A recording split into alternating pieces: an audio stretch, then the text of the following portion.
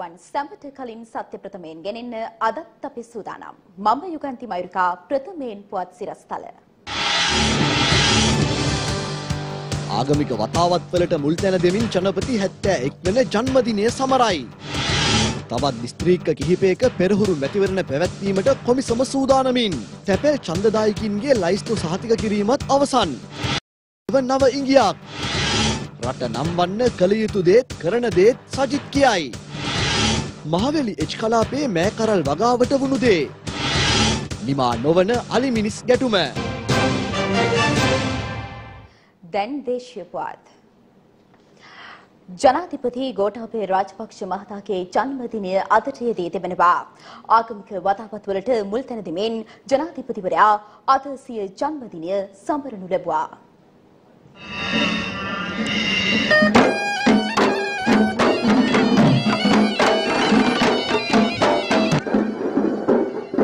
ජනාධිපති ගෝඨාභය රාජපක්ෂ මහතා චිරාගත ආගමික වතාවත්වලට සීමා වෙමින් අද සිය ජන්මදිනය සමරනු ලැබුවා. ජනාධිපතිවරයා අද උදැසන අනුරාධපුර ඓතිහාසික රුවන්වැලි සෑරදුන් අභියස පහන් දල්වා කිරි ආහාර පූජාවක් පැවැත්වූ අතර පූජ්‍ය උඩුවේ ධම්මාලෝක හිමියන් ආගමික වතාවත් සිදු කළා.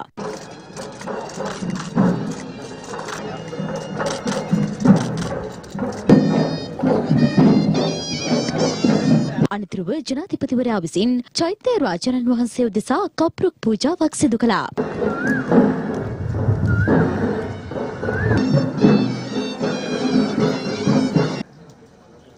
චෛත්‍ය මළුවේ කිරි ඉතිරිවීමේ චාරිත්‍රයද මෙහිදී ඉටු කළා.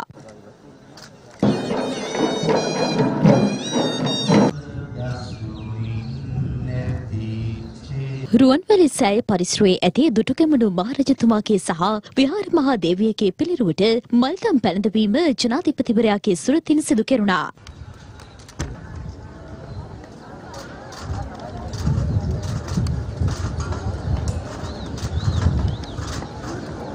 ඉන් අනතුරුව චෛත්‍ය මළුවේ ඇති බුද්ධ මන්දිරයට ගිය ජනාධිපතිවරයා ආගමික වතාවත් වල නිරත වෙමින් ආශිර්වාද ලබා ගත්තා. මහා සංඝරත්නය උදෙසා උදැසන දානමය පුණ්‍ය කර්මයේද ජනාධිපතිවරයාගේ ප්‍රධානත්වයෙන් සංවිධානය කර තිබුණා. අග්‍රාමාත්‍ය මහින්ද රාජපක්ෂ මහතා ඇතුළු පවුලේ ඥාතීන්ද මැති ඇමතිවරුන් සහ හිතවතුන් පිරිසක්ද මෙම අවස්ථාවට එක්ව සිටියා.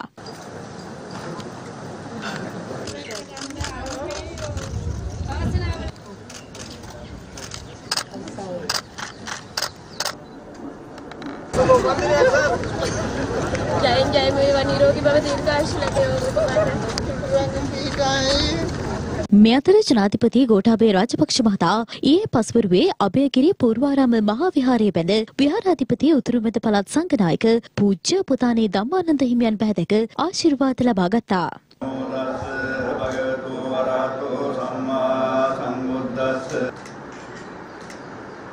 කුට්ටම්පොකුණ විහාරය වැඳ ආශිර්වාද ලබාගත් ජනාධිපතිවරයා විහාරාධිපති පූජ්‍ය ඉහළගම පවරකිත්ති හිමියන් බැහැදක කෙටි පිළිසඳරකද නිරත වුණා. විහාරස්ථානයට පැමිණ සිටි බැතිමතුන් සමගද ජනාධිපතිවරයා සුහද කතා බහක නිරත වුණා.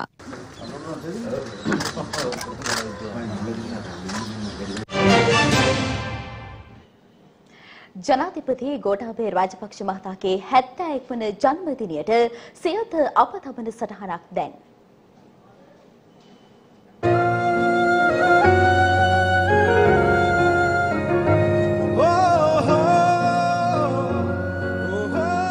වර්ෂ එක්දහස් නමසය හතලිස් නමය වසරේ ජුනි මස විසිවනදා මාතර පාලිටුව ග්‍රාමයේදී ඩේ රාජපක්ෂ මහතාට සහ දන්දිනා සමරසිංහ යුවලට දයාපර පුතුනුවක ලෙස ගෝටාපේ රාජපක්ෂ මෙලොව එළිය දුටුවා. සිය මූලික සහ ද්විතීක අධ්‍යාපන කටයුතු කොළඹ ආනන්ද විද්‍යාලයෙන් හැදෑරු ගෝඨාභය රාජපක්ෂ මහතා එක්දහස් නමසය අනු දෙක වසරේදී කොළඹ විශ්වවිද්‍යාලයෙන් තොරතුරු තාක්ෂණය පිළිබඳව පශ්චාත් උපාධයක් හිමි කරගනු ලැබුවා. වර්ෂ එක්දහස් නමසය හැත්ත එක වසරේ අප්‍රේල් මස විසි හයවරදා කැඩෙට් නිලධාරියෙකු ලෙස ශ්‍රී ලංකා යුද හමුදාවට එක්වන රාජපක්ෂ මහතා වර්ෂ එක්දහස් නමසය හැත්ත දෙක වසරේ මැයි මස විසි පස්වනදා සිය වෘත්තීමය දිවිය ආරම්භ කරනු ලැබුවේ දෙවන ලුතිනල්වරයෙකු ලෙසයි. පසුව ශ්‍රී ලංකා සිංහ රෙජිමේන්තුව සහ රජරට රයිෆල් හිසේවේ යෙදුණු ගෝඨාභය රාජපක්ෂ මහතා එක්දහස් නමසයසූ තුන වසරේදී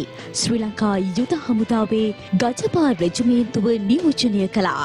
සිය විසි වසරක් වූ හමුදා දිවිය තුළදී ශ්‍රී ලංකය ජනාධිපතිවරුන් තිදෙනෙකු වන ජයාර් ජයවර්ධන ආර් ප්‍රේමදස්ස සහ ඩීපී විජේතුන් ගැන මහත්තුරුන් අතින් නිර්භීතත්වය වෙනුවෙන් පිරිනමන සම්පහල හිමි කර ගැනීමටද ගෝඨාභය රාජපක්ෂ මහතා සමත් වුණා. දෙදහස් පහවසරේ ජනාධිපතිවරණය ජයග්‍රහණයෙන් පසු මහින්ද රාජපක්ෂ රජය යටතේ මෙරට ආරක්ෂක අමාත්‍යාංශයේ ලේකම්වරයා වශයෙන් ඉතා භාරදූර වගකීමක් භාරගනු ලැබූ ගෝඨාභය රාජපක්ෂ මහතා තිස් වසරක් පුරා ශ්‍රී ලංකාව විලාකනිමින් පැවති කුරිරු ත්‍රස්තවාදය නිමා කිරීමට එවක සේනාධිනායක මහින්ද රාජපක්ෂ මහතාට ගෝඨාභය රාජපක්ෂ මහතා ලබා දුන් සුවිසල් දායකත්වය අපමණය. ජනාධිපති මහින්ද රාජපක්ෂ මහතාගේ උපදෙස් මත ගෝඨාභය රාජපක්ෂ මහතා LTT ත්‍රස්තවාදය මැඩලීමට ත්‍රිවිධ හමුදාවට නායකත්වය ලබා දුන් ආකාරය ඉතිහාසයේ රන් අකුරෙන් ලියවී අවසන්. ත්‍රස්තවාදය මැඩලීමේ ක්‍රියාන්විතයේදී ගෝඨාභය රාජපක්ෂ මහතා දෙදහස් හය වසරේදී ත්‍රස්තවාදීන්ගේ ම්ලේච්ඡ ප්‍රහාරයකින් බේරුණේ ජාතියේ වාසනාවකටය. කොළඹ විශ්වවිද්‍යාලය විසින් එම වසරේම සැප්තැම්බර් මස 6 වන දින ගෝඨාභය රාජපක්ෂ මහතාට ආචාර්ය උපාධියක් පිරිනමනු ලැබුවා.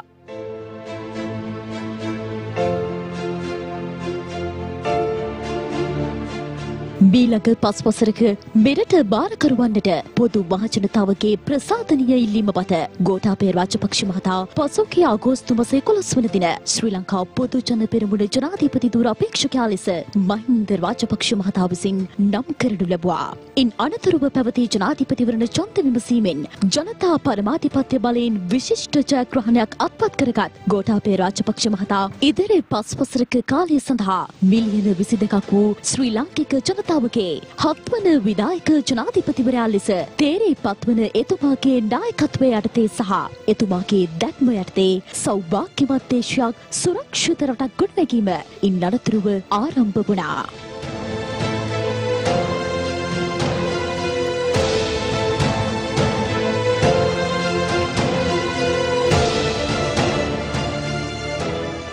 ජාතික ආරක්ෂාවට මුල් තැන ලබා දුන් ගෝඨාභය රාජපක්ෂ මහතා රටේ සංවර්ධන කටයුතු කඩිනමින් ආරම්භ කළ අතර රට නවමු පෙරලියක් කරා රැගෙන යාමට සිය සැලසුම් දියත් කළා. චීනයේ පුරා පැතිර යන COVID-19 වෛරසය හමුවේ වුහාන් නගරයේ සිටි ශ්‍රී ලාංකිකයන් කඩිනමින් ශ්‍රී ලංකාවට ගෙන්වා ගැනීමට කටයුතු කිරීමත් සමග කොරුණා වෛරසය පාලනය කිරීමට ගෝඨාභය රාජපක්ෂ ජනාධිපතිවරයාගත් උත්සාහය මේ වන විට විදෙස් රාජ්‍ය නායකයන්ගේ පැසසුමටද ලක්ව ඇත.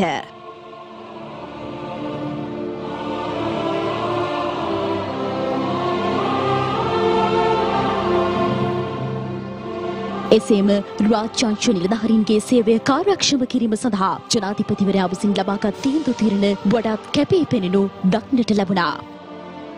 ජාතික ආරක්ෂාව පාතාලය මර්ධනය කිරීම කඩා වැටී ඇති ආර්ථිකය ජලය ශක්තිමත් කිරීම යන අභියෝගයන් හමුවේ නොසැලී තවදුරටත් ජනතාව වෙනුවෙන් සේවයේ නිරතව සිටින වැඩ කරන නායකයෙක් ලෙස ජනාධිපති ගෝඨාභය රාජපක්ෂ මහතා සිය යුතුයකම මේ මොහොත වන විටත් ඉටු කරමින් සිටිනවා. ශ්‍රී ලංකා ප්‍රජාතාන්ත්‍රික සමාජවාදී ජනරජයේ අතිගරු ජනාධිපති ගෝඨාභය රාජපක්ෂ මහතාගේ හැත්තෑ එක්වන ජන්මදිනය අදයි. සිය ජන්මදිනය සමරනු ලබන Gotabaya Rajapaksa ජනාධිපතිතුමනි Voice of Asia මාධ්‍යජාලය ප්‍රමුඛ සියත TV අප විසින් ඔබතුමන්ගේ ජන්මදිනයට උණුසුම් සුබ පැතුම් මහමැතිවරණයට අදාළ තැපැල් ඡන්දදායකයින්ගේ ලයිස්තු සහතික කිරීමේ කටයුතු මේ වන විට අවසන් කර ඇති බව මැතිවරණ මාලේකම් කාර්යාලය පවසනවා. පසුගිය 18 වෙනිදා එම කටයුතු අවසන් කිරීමට පියවරගත් බවයි එම කාර්යාලය ප්‍රකාශ කළේ. මේ අතර සෞඛ්‍ය මාර්ගෝපදේශ යටතේ මහමැතිවරණය පැවැත්වීමට අදාළ පෙරහුරු මැතිවරණ කිහිපයක් අද කොළඹ දිස්ත්‍රික්කය කේන්ද්‍ර කර ගනිමින් පැවැත්වුණා.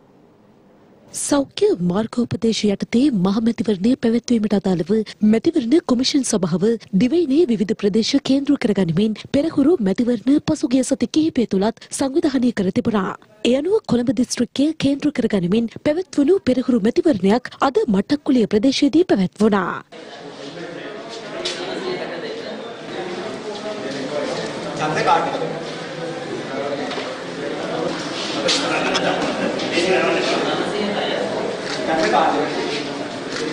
සෞඛ්‍ය රක්ෂිත ක්‍රම භාවිතා කරමින් එළබෙන මහමැතිවරණය සඳහා කටයුතු කළ යුතු ආකාරය පිළිබඳව මෙහිදී විශේෂ අවධානයකට යොමු කෙරුණා.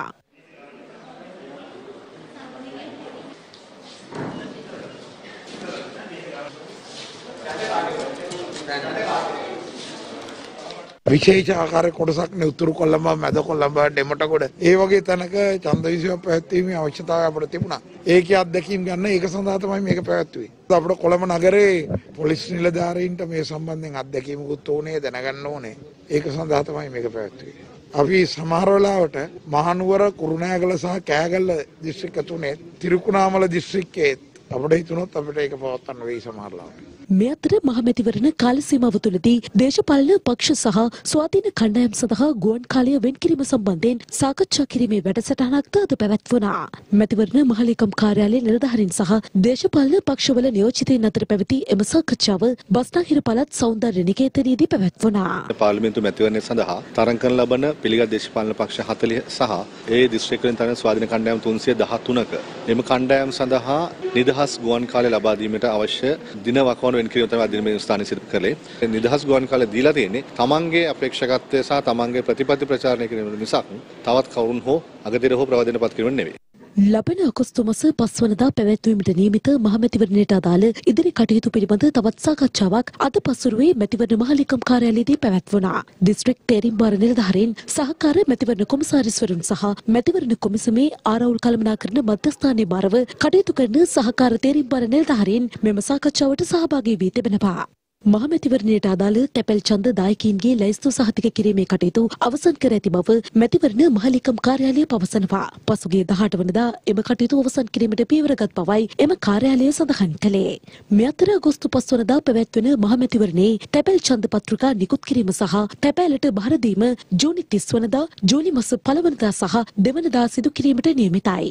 මෙවර මහමැතිවරණයට අදාළ තැපැල් ඡන්ද සලකුණු කිරීම ජූලි මාස 14 15 16 සහ 17 යන දිනවලදී සිදු කරනවා. රාජ්‍ය ආයතනවල සේවකීන්ට තැපැල් ඡන්දය සලකුණු කිරීමට ජූලි මාස 14 සහ 15 යන දෙදින වෙන් කර ඇති අතර දිස්ත්‍රික් ලේකම් කාර්යාල, මැතිවරණ කාර්යාල, පොලිසිය, ආරක්ෂක හමුදා, සිවිල් ආරක්ෂක දෙපාර්තමේන්තුව සහ සෞඛ්‍ය අංශවල සේවකීන්ට තැපැල් ඡන්ද සලකුණු කිරීම සඳහා ජූලි මාස 16 සහ 17 යන දෙදින නම් කර ඇති බව මැතිවරණ කොමිෂන් සභාව සඳහන් කළා. එම දිනවලදී ඡන්දය භාවිතා කිරීමට නොහැකි වන රාජ්‍ය සේවකයන් සඳහා ජූලි මාස 20 සහ 21 යන දිනවලදී තැපැල් ඡන්දය භාවිතා කිරීමේ පහසුකම සලසා දී තිබෙනවා. රටේ ජාතික ආර්ථිකය නගා සිටුවීමේ වගකීම තම රජය බාර ගන්නා බව අග්‍රාමාත්‍ය මහින්ද රාජපක්ෂ මහතා පවසනවා. ඒ කුරුණෑගල ප්‍රදේශයේ පැවති ජනහමුවකට එක්වමින්. අපි බාර දෙන දෙනකොට තිබිච්ච ආර්ථිකය නෙවෙයි අපිට ආපහු බාර දුන්නා. කඩා හැලිච්ච ඍණ ආර්ථිකයක් අපිට බලා ලබා දුන්නා. ගෝඨාභය රාජපක්ෂ මහත්මයා ජනාධිපතිවරයා වෙලා තමුන්වහන්සේලා දන්න පාර්ලිමේන්තුවට අපි ගිහිල්ලා පාර්ලිමේන්තුවේ මුදල් පන්තක් ගේනකොට රටේ සංවර්ධනයට කොරෝනා වෛරසය මර්ධනය කරන්න ඒ පනත සම්මත කරගන්න දුන්නේ නෑ අපිට. පස්සේ තමයි අපි ආණ්ඩුව විසිරුවලා ජනාධිපතිවරයා මාර්තු 25 වෙනිදාට පාර්ලිමේන්තුව මැතිවරණයක් තියලා අවසන් කරන්නයි හැදුවේ. මොකද අවසානයේ උනේ 25න් පස්සේ මැතිවරණය අද වෙනකන් කල් ගිහිල්ලා. විපක්ෂය අද කෑ ගහනවා. අවුරුදු ගාණක් බලයේ ඉඳලා පාක් රටට කරපු සේවය මොකද්ද කියලා දැන් අද අමුතුවෙන් අපි අහන්න ඕන නෑ යාළුවා. මොකද රටේ සියලු දෙනා දන්නවා. වැඩ කරන ජනාධිපතිවරයෙක්. ඔහුගේ කාලෙ මුළු කාලෙම යොදවන්නේ වැඩ කරන්න.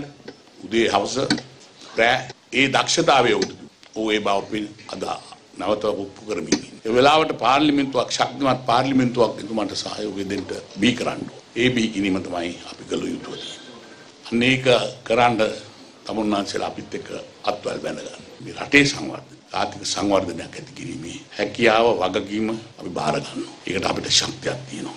ඒක අපි පෞද්ගලික කාලේ ඔප්පු කරලා තියෙනවා. ඒක නිසා මේ කටයුතු වලදී මේ රට ජයග්‍රහණය කරවන්නට පියවර ගන්න කියලා ඉල්ලා සිටිමින්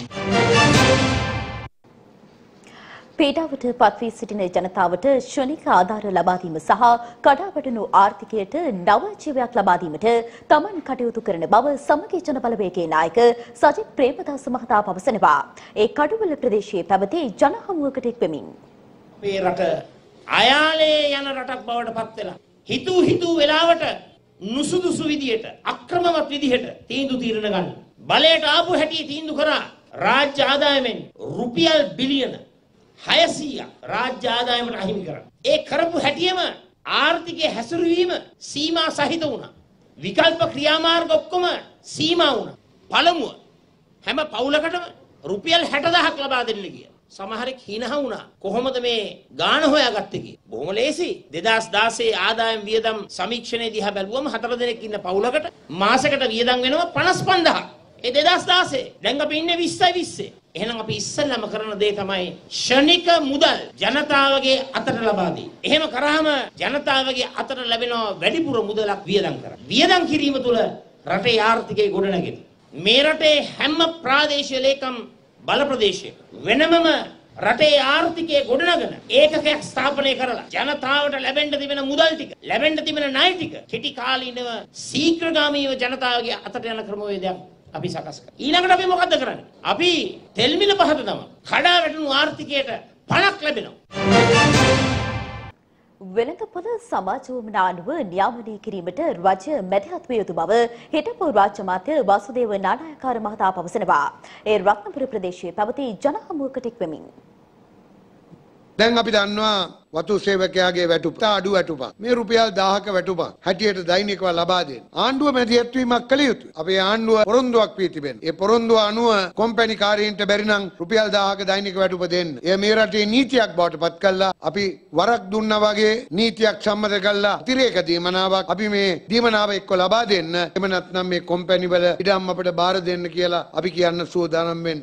සජිත් මහත්මයාට තේරෙන්නේ නැහැ වෙළඳ පොලේ තිබෙන්නා වූ යාන්ත්‍රණය. එතුමාට තේරෙන්නේ නැහැ මේ මිනිස්සුන්ගේ නිෂ්පාදනය ශ්‍රමය මේවා කොහොමද වෙළඳ පොළ තුල නියාමනය කරන්නට රජය මැදිහත් වෙන්නේ. අනික එතුමාගේ ප්‍රතිපත්තිය රජයේ වෙළඳ පොළ තුල මැදිහත් වීම වළක්වන ප්‍රතිපත්තියක්. ඒගොල්ලෝ කියන්නේ වෙළඳ පොළ තමයි සියලු දේ තීන්දුව කරන්නේ. අපි කියන්නේ වෙළඳ පොළ සමාජ උවමනාව අනුව නියාමනය කිරීමට රජය මැදිහත් විය යුතුයි. මේ ප්‍රතිපත්තිය දෙක එකිනෙකට ගැටෙන. මෙතනයි ඇත්ත කතාව තියෙන්නේ. දෙන්නේ 20000ද එහෙම නැත්නම් 5000ද කියන එක නෙමෙයි. හදිසිය ආයාමකදී මිනිස්සුන්ට ලබා දෙන දීමනා ඔවුන්ට දැනට දෙන දීමනාවට අතිරේකව දුන්නු දීමනා. පොරොත්තු ලේඛනයේ හිටියාටත් දුන්න. එතන ලංකාවේ පවුල් 65 ලක්ෂයක් විතර ඉන්නවා. ඒ 65 ලක්ෂයෙන් 54 ලක්ෂයකට පමණ. මේ දීමනාව අපි ලබා දුන්නා. සජිත් ප්‍රේමදාස මහතාගේ පරිණතභාවය මදි ආර්ථික විද්‍යාව ගැන මේ කාරණාව තේරුම් ගන්න. එතුමාට පුළුවන් ඇවිල්ලා දේශපාලන වේදිකාවේ ඔට්ටු අල්ලන්න ඒගොල්ලන්ට වඩා මම දීමනාවක් දෙනවයි. මේක ඇත්ත වශයෙන්ම හිස් තර්කයක් එතුමා ඉදිරිපත් කළා. ආණ්ඩුව විසින් පත් කරනු ලබන කොමිසම් හරහා ඉටුවිය යුතු කාර්යයන් ඒ ආකාරයෙන්ම ඉටුවේද යන්න සැකයක් පවතින බව සමගී ජනබලවේගයේ කළුතර දිස්ත්‍රික් අපේක්ෂක නිශාන්ත ශ්‍රී වර්ණසිංහ මහතා පවසනවා. සමගී ජනබලවේග පක්ෂ මුලස්ථානයේ පැවති මාධ්‍ය හමුවකට එක්වෙමින් ඒ මහතා මේ බව ප්‍රකාශ කළා. අද අපිට ඇවිල්ලා මාධ්‍ය සංදර්ශන පවත්වනවා. දේශපාලන පරිගැනීම් පිළිබඳව සොයා බලන්න කියලා කොමිසමක් පත් කරලා ඒ කොමිසම අද සම්පූර්ණයෙන්ම කරගෙන යන්නේ දේශපාලන සංදර්ශනය. ඒ වගේම පාස්කු ප්‍රහාරය පිළිබඳව සොයා බලන්න කොමිසම පත් කරලා තියෙනවා. ඒ කොමිසමෙන් කරගෙන යන්නේ ඒ විදිහටම දේශපාලන සංදර්ශනය. දැන් සතියෙන් සතිය දානවා අලුත් මාධ්‍ය සංදර්ශන සඳහා විවිධාකාරයේ මිනිස්සු අතර මිනිස්සුන්ගේ මේ ආණ්ඩු විරෝධී මිනිස්සුන්ට තියෙන සැබෑ ප්‍රශ්න යටපත් කරන්න අද විවිධ දේවල් ගෙනල්ලා ඉස්සරහට දානවා. ඒ වගේ එකක් තමයි මේ පාස්කු ප්‍රහාරය. අපි කියන්නේ පාස්කු ප්‍රහාරය පිළිබඳව සොයා බලන්න බොහොම හොඳයි. මහ බැංකු වංචාව පිළිබඳව බැඳුම්කර වංචාව පිළිබඳව සොයා බලන්න. ඒවට වගේ යුක්තෝ ගේන්න. හැබැයි තාම පුළුවන් වෙලා නැහැ. මහාවීර ගෝඨාභය රාජපක්ෂ කිව්වේ මොකද්ද? මම සති දෙකෙන් අර්ජුන් මහේන්ද්‍රන් ගේනවා කියලා. දැන් මාස 8ක් ගත වෙලා තියෙනවා. අර්ජුන් මහේන්ද්‍රට කොහෙද ඉන්නේ කියලාවත් අද දන්නේ නැහැ. බුද්ධි අංශ ඊටාම ශක්තිමත් කියලා කිව්වා දැන් ආණ්ඩුව ආවට පස්සේ. අපි කියනවා පුළුවන් නම් KP අරගෙන ආවා වගේම අරගෙන එන්න අර්ජුන් මහේන්ද්‍රන්. අද මුළු ලෝකෙම ක්‍රීඩා ලෝකෙම ප්‍රවෘතියක් ලංකාවේ ක්‍රීඩා ඇමති ලෝක කුසලානිය ලංකා විකුණු බව පවසයි. ඒකට ක්‍රීඩා ඇමති. ශ්‍රී ලංකාවේ කීර්ති නාමය කෝ? කෝ ශ්‍රී ලංකාවේ කීර්ති නාමයට මොකද වෙන්නේ? ක්‍රිකට් ලෝකේ තියෙන. කරුණා කරලා මේ ලෝකෙට කියන්න වෙයි මොකද්ද මෙතන සිද්ධ වුනේ කියලා ක්‍රීඩා ඇමතුමා. හැබැයි මේ වගේ ඒවා දාලා අර ආණ්ඩුවේ සුපුරුදු මාධ්‍ය සංදර්ශන දාලා මේක යට ගහන්න එපා. මේ ක්‍රිකට් වලින් වහන්න බෑ.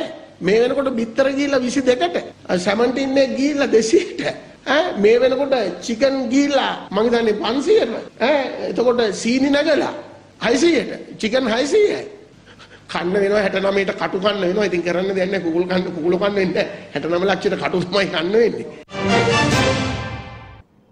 කාලයක් තිස්සේ වනාලි ගැටලුව හේතුවෙන් පීඩා විඳින මැදවච්චිය තුලාවෙල්ලිය ගම්මානයේ ජනතාව පිළිබඳවයි මේ අනාවරණය.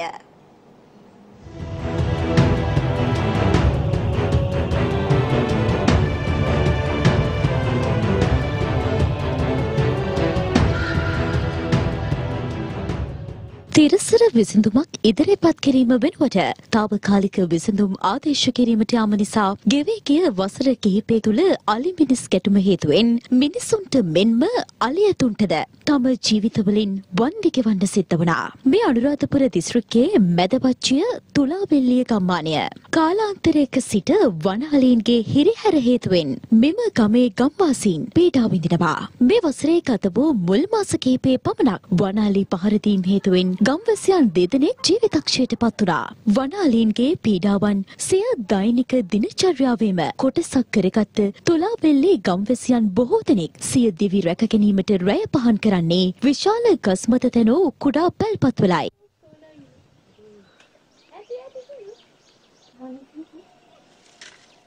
රාත්‍රී කාලයේ මෙන්ම දහවල් කාලයේදීත් ගම්වදින වනාලින් සිය වගාපින් මෙන්ම කුඹුරුද සහ මුලින්ම විනාශ කර දමන බවට ගම්වාසීන් චෝදනා කරනවා.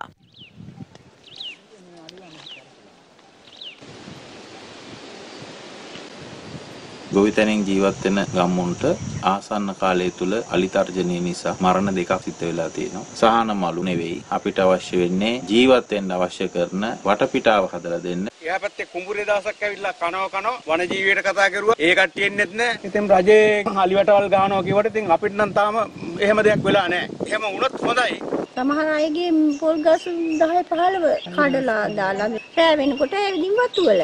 හරි බයෙන් ඉන්නේ. තවත් ජීවිතයක් වනාලීන්ට බිලිවන්නට පෙර මෙම අලි මිනිස් ගැටුමට නිසි විසඳුම් ලබා දීමට වගකියුත්තන් පියවර ගන්නේ නම් තුලා වෙල්ලිය ගම්වාසීන්ගේ ජීවිත වඩාත් සුරක්ෂිත වනු ඇති. මෙරට COVID-19 හෙවත් නව කොරුණා වෛරසය ආසාදිත පුද්ගලයන්ගේ සංඛ්‍යාව 1950 දක්වා ඉහළ ගොස් තිබෙනවා. මේ අතර වෛරස් ව්‍යාප්තියත් සමග తాවකාලිකව වසා දැමුණු වැලිසර නාවික හමුදා කඳවුර ලබන සතියේ සිට අධ්‍යයන කිහිපයක් යටතේ විවෘත කිරීමට සැලසුම් කරන බවයි සෞඛ්‍යාංශ ප්‍රකාශ කළේ.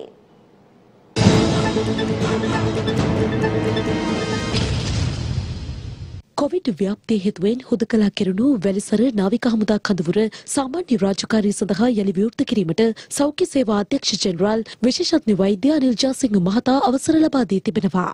නාවික හමුදාව පවසන්නේ පියවර කිහිපයක් යටතේ කඳවුරේ රාජකාරී යළි ආරම්භ කිරීමට සැලසුම් කර ඇති බවයි. නාවික හමුදාවේ කොරෝනා වෛරසය ආසාදනය වී සුවය ලැබූ පුද්ගලයන්ගේ සංඛ්‍යාව 771ක් දක්වා ඉහළ ගොස් තිබෙනවා. ඒ ඊයේ දිනේදී සුවය ලැබූ තවත් නාවික හමුදා සමාජිකයන් 15 දෙනෙකු රෝහල් වලින් පිටව යාමත් සමගයි. මේ අතර ඊයේ දිනේදී COVID-19 වෛරසය ආසාදනය වූ නව ආසාදිතයින් දෙදෙනෙකු මෙරටින් හඳුනා ගැනීමට හැකි වුණා. මෙවන විට පුද්ගලයන් 467 දෙනෙකු වෛරසය ආසාදනය වීම හේතුවෙන් තවදුරටත් රෝහල්වල වෛද්‍ය අධීක්ෂණය යටතේ පසුවන අතර පුද්ගලයන් 1472 දෙනෙකු පූර්ණ සුවය ලබා රෝහල් වලින් පිටව ගොස් තිබෙනවා. මේ අතර COVID-19 වෛරස තත්ත්වය හේතුවෙන් මෙරටට පැමිණීමට නොහැකිව ඉන්දියාවේ රැඳී සිටි ශ්‍රී ලාංකිකයින් 150 දෙනෙකු අදාළියම මෙරටට පැමිණි බව අප ගුවන්තොටුපළ වාර්තාකරු ප්‍රකාශ කළා. UL 1026 දරන විශේෂ ගුවන් යානයෙන් ඔවුන් අද උදැසන කටුනායක ගුවන්තොටුපළ වෙත පැමිණ තිබෙනවා.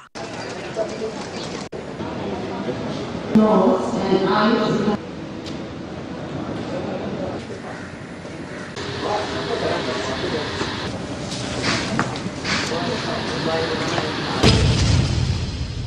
කොරෝනා වෛරස ආසාදිතයින් මිලියනය ඉක්ම වූ දෙවන රට බවට බ්‍රසීලය පත් වී තිබෙනවා. ඒ ඊයේ දිනේ තවත් ආසාදිතයින් 55000කට වැඩි සංඛ්‍යාවක් වාර්තා වීමත් සමගයි.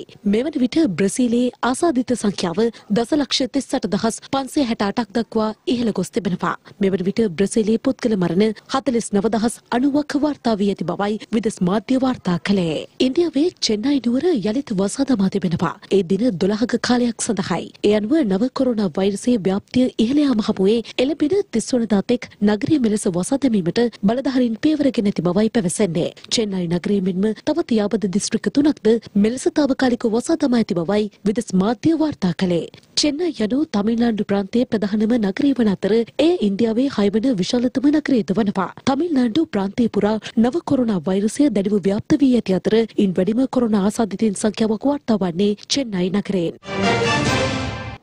එත් සමගින් අපගේ ප්‍රධාන ප්‍රවෘත්ති විකාශයමින් නිමාවට පත්වනවා යළිතම මෙම රාත්‍රී 9:35ට ඔබට සුබ සන්ධ්‍යාවක්.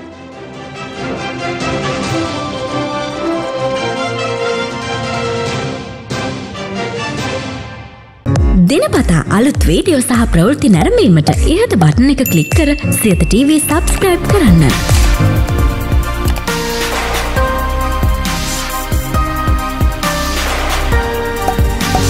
වීඩියෝ ගැන මුලින්ම දැනගන්න මෙම සීනුව ක්ලික් කරන්න.